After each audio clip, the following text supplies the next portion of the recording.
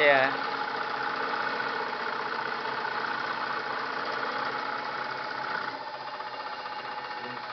Udah asik ya? Oke. tulisannya ya goyang ntar